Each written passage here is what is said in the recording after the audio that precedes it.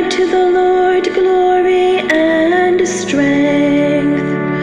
Ascribe to the Lord the glory of his name. Worship the